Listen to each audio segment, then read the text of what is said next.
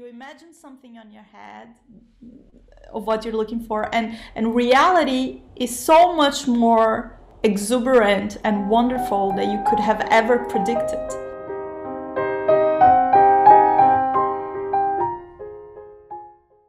Thank you tali for joining us today to do an interview about your um, film documentary film my darling supermarket and as you already told us before, it has been like a five year process doing this film with a three year research phase. And in this process, when did you decide that you want to film the workers in the supermarket and not the customers? It never occurred to me to film the customers. The customers were never interesting to me. Because the whole concept of the film is to explore what's you know what was going on on people's heads while they were doing a repetitive work and while they were living in that space. Because supermarket workers spend a lot a lot of hours in that environment in that closed environment. Supermarkets have no windows have no escape filled with shelves and, and, and you know it's a very specific scenario. And customers were never interesting to me. There are people coming in and out they're not looking at these people they're not really interacting with anything you know they're coming in doing their shopping and going out. For me the fascinating thing was to approach the people who had to stay there all day you know? Uh, and the, the, and explore the contrast uh, of what they you know uh, of where their mind wandered because humans are not made for that. We are, uh, how to say, um, it's an escape mechanism that we have, you know, for our minds to wander and to think and, and when you're in such environments. And a lot of people I spoke to told me i met people who work in the supermarket and then left and people i even met after i did the film that told me oh uh, the time of my life when i worked in a supermarket i had the most bizarre conversations i've ever had you know? People told me this. I had a friend that worked in a in a factory in a medicine factory where you had the same to do the same things every day. And and also she talked about those experiences and and, and and what she thought about while there and bizarre dreams that she had because you know we're not a, a machine that can repeat the same work over and over again. And this this this deep humanity has to leak out somewhere. And and the idea was for the film to capture that.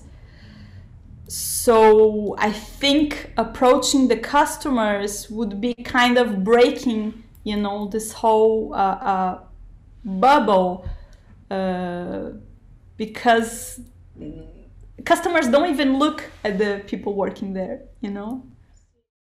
I especially also see this, um, this discrepancy between this void of repetitive work and then uh, the meaning we assign to our lives and the meaning we kind of think about while doing this work as a worker in the supermarket. So, um, and you also capture this a lot with visual elements. For example, once in the movie there's uh, there's a poster which tells us um, it's the festival of dreams. Yeah. Okay. There is something uh, about this festival of dreams that I think only translates to Brazilian audiences, um, which we talked about this during the making of the film and during the editing that this was a problem that it would not translate perfectly to international audiences. But we said that's okay. You know it's still an interesting image because the word dream in portuguese which is written that in that poster which is sonho in portuguese has a double meaning. It means dream that you dream at night but it's also a sweet that you eat it's like uh, bread, cream, and bread. It's like a, a fried uh, sweet. But it also means dreams. So when they put up this poster, this uh, uh, big thing at the supermarket, that they actually meant festival of uh, the sweet. You know that they were gonna make a lot of this little cake. But for us, it's a metaphor. It has a double meaning. In the context of the film, it has a double meaning because, yes, like you said, we're talking about existential void, we are talking about unfulfilled dreams. Um, so, so that's why we used uh, that image. But we love it. Uh, for Brazilian audiences, it has that extra layer that unfortunately we cannot translate. You know, I can talk about it now, but this is something impossible for us to, to put in the subtitles because that meaning it's only in Portuguese that you understand that a dream also means a cake. And, and the film is always playing with these things. It's always playing with the material and the existential. It's always playing. It's like, and it's putting up the, this question um, what does it mean to be in the world? Is this just a material experience? Or is there something more to this place that we're living in? Is this just this, this superficial and boring materiality, or is there something more? We don't know, you know, nobody, you know, we're not there to ask, answer this question, but we're there to discuss the human search. And I think that's what this film tries to do. Is the same thing like the character we have that works in the security. She's up in the security booth and she's looking down on on all the humans you know and we like to joke that, that she's the god of the film. She's like this controlling wonderful mother that's looking down on everyone and telling who is doing something wrong who is trying to steal nutellas and and you know and the film puts up this this is playing with this this uh, these things you know the mundane and the existential. I think it is very coincidental very impressive but very coincidental uh, for example the the poster with the double meaning of the dreams and the sweet uh, the, the, sweet cake or um, specialty um, you have in Brazil, but as well at several um, times in the film, I saw that there had to be some kind of coincidence at work. For example, the butterfly on a CCTV camera. Um, how much did you play with these coincidental shots?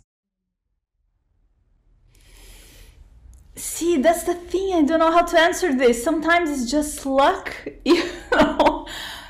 It, we didn't see the butterfly we didn't plan. We were shooting at that place you know? I didn't think about that possibility of the, some things you look for you know? Some things are in your script you know you're looking for. For instance i wanted to have a romance in the film like i wanted to find two characters that maybe were flirting and this is something that i knew i was looking for. But other things they you know when you're immersed in that universe and gaining intimacy with it and exploring you know wonderful elements just come up and they give you new ideas. For instance the butterfly just you know showed up day we were filming and then we found out that butterflies would come in that stock all the time and it was just oh and we were we stopped what we are doing and for like hours we were just chasing a butterfly all over the supermarket because for us it was just this amazing image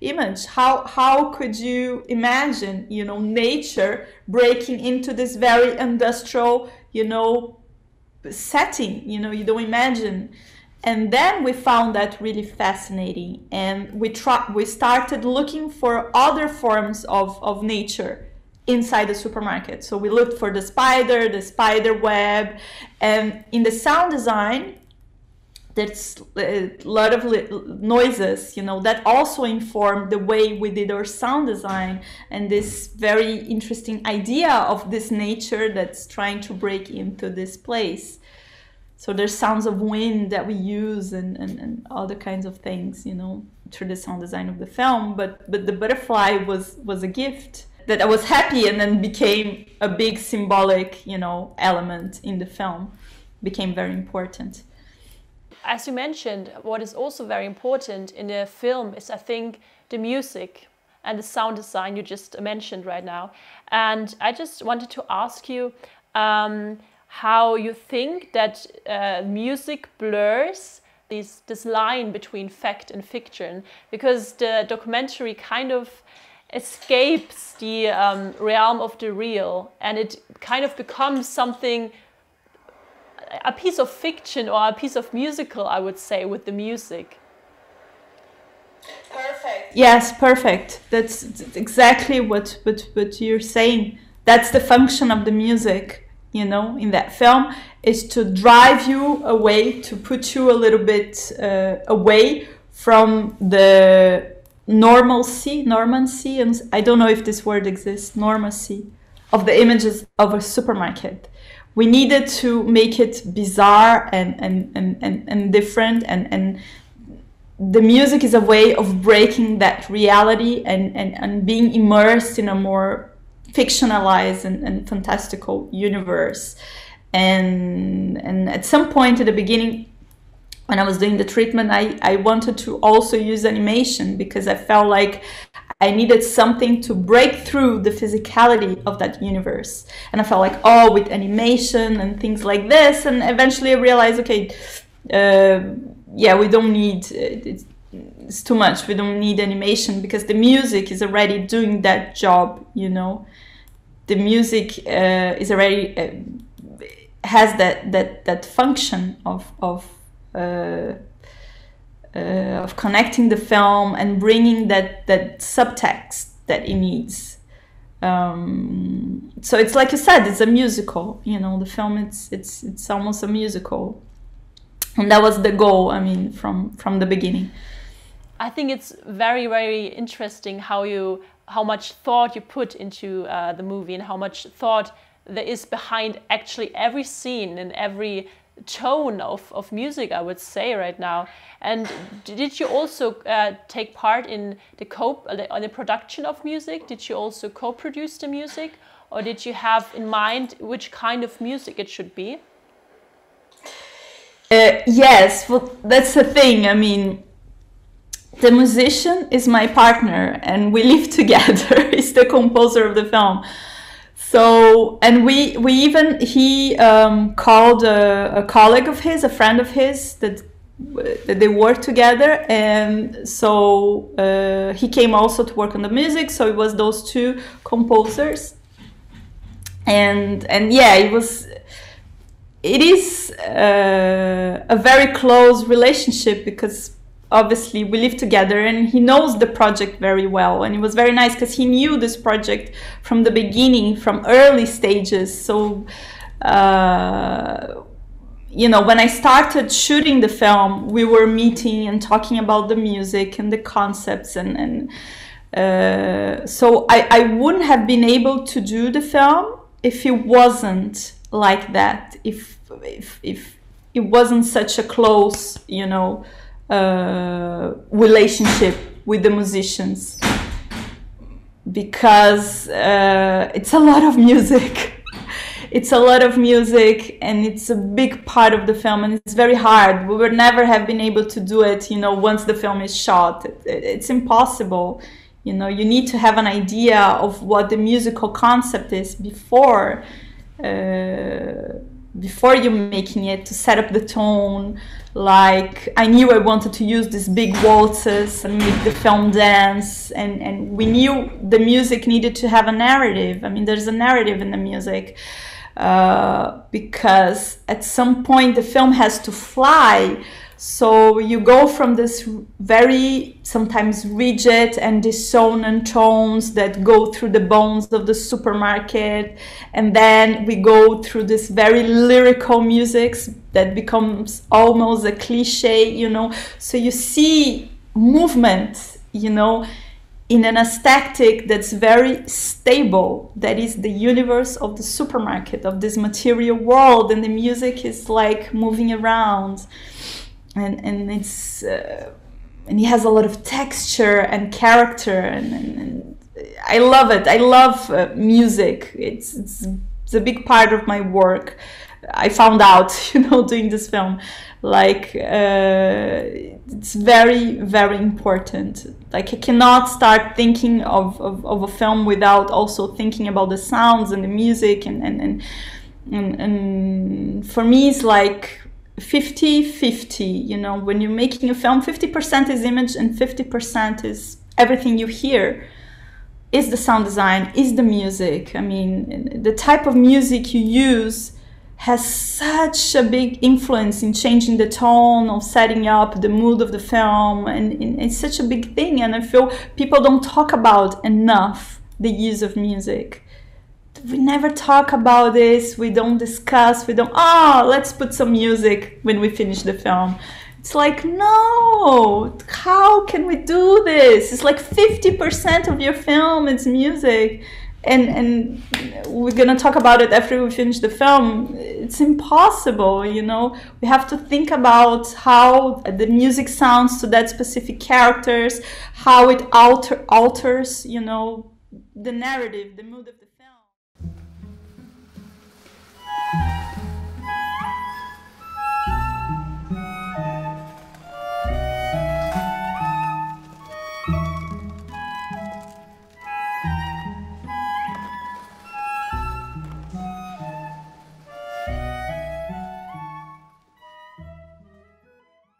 So half, I would say, uh, half of the music, it's completely originally composed. Let's say 50%. The other half is like music that already existed. I use this old uh, ballets, music from ballets and things like this that I really liked, and I gave to the composers, and they changed it a little bit. They like tweaked it, made it a little they interpreted it. But with the edit, you know, the tone, we already had the tone of what we are using. Like they gave me, we talked about the film and they gave me a lot of references that they liked and that, that I liked. And we edited with those references. When we edited the film, we already had this tone. So that was very important because the editing is also a very musical process, very musical it's impossible for you to edit the film with a certain kind of music and then change it completely later you know? It changes the edit. So we are already editing in a specific tone that we had pre-arranged with the musicians. Uh, so those ballets everything we knew we were going to use but they tweaked it you know which was wonderful. And the waltz is composed. It's based on a shostakovich waltz that I love. Uh, and they sort of did something new. You know, I knew I wanted to use the wall and the waltz, and they reinterpreted it. But the other part, this other 50%, uh, some of it they composed. It was originally composed, contemporary music. And what they also did is when they went to the studio, they um, improvised with the musicians all kinds of sounds. And those, those, this material that they improvised, we brought to the edit room and they edit those sounds into the film. How did that name develop, My Darling Supermarket? Was it a spontaneous idea? Or who is My Darling in Supermarket? Ah, you know, actually, that's not the original name of the film. The original name of the film was Have a Nice Day you know like this thing that people say oh have a nice day when you leave the the store. So that's that's the the title we had for the film for a very long time right until the very end and uh, but the problem is when i went like when i wrote the treatment of the film i gave this name have a nice day. When i started filming it was a fantasy i had in my head you know. I, I go to supermarkets and i know people don't say have a nice day. I think it was like this fantasy that i have oh this is a nice title. But when you go to supermarkets people don't say this. They don't exactly say here in brazil have a nice day. They say anything else anything else anything else it's not really used anymore. Have a nice day. Anything else? Uh, thank you. Come back soon. And, and they say things like this. So we felt like it was a bit fake. You know, we don't have a character saying "Have a nice day," and she knew about this title. The producers knew, and we had a little discussion. Should we use it? My darling supermarket. We were a bit unsure, and at the end, we decided to go with it because it's like you know, it's this affection the affection and the supermarket, which is things that in people's minds don't go together, and in a way is what this film do. So we, we went with it. Now I really like the title, but at the time we were we're all a bit unsure. Like, does this make sense? My darling supermarket, my dear supermarket. We were all a bit and at the end we sort of we we, we were convinced that that it was it, it was going to be called my darling supermarket and it was important to have the word supermarket at the title yeah. i think you need to know you're going into a supermarket and you're going to spend the entire film inside a supermarket i think it's, it's, it's important to, to have that word in the title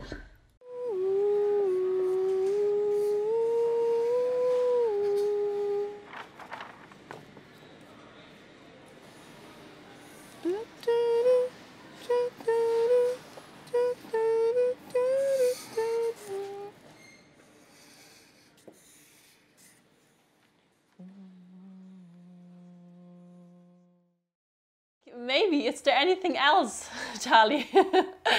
because the, the film asks any, anything else in the end, right? Yeah.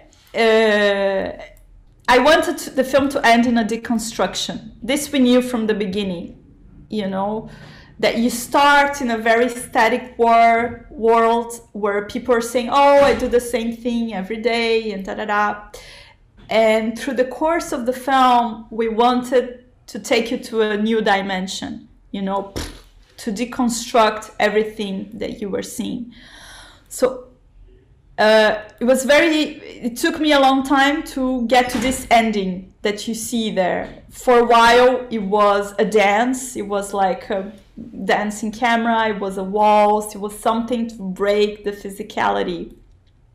And uh, and one of the producers says, "I'm not sure this is the best ending. Maybe try something else." And and finally, I started trying up some effects, some you know on Premiere and things like this. And and I, I took this shot that I really liked. That is the shot that you see at the end, and and I mirrored that space. And it was suddenly it hit us. Okay, this is this this could be a really interesting ending because it's almost like the character penetrates in a different dimension. It's the same world, but it's a new dimension. You know, it's playing with this. And when you ask the question, anything else, which is a question everybody in the supermarket asks all the time, anything else? What do we want? What do you want? This question now has an existential flair because it's asking, what else is there to life? You know? So again, it's the mundane and existential play. Anything else? What do you want? And I really love it because there's a lot of people that saw the film here in Brazil and they say when they go to the supermarket, it's like a whole different experience. And they say when the when the person in the counter asks me anything else, I'm like, oh, it's like it's a strange question. And and I love that the film could have this effect on people so when you put up anything else, it's like it's transformed. The meaning of this world uh, of this sentence is completely transformed. I mean, that's that's the goal of, of the end. Thank, thank you very much. I think it was, was a very insightful um, interview.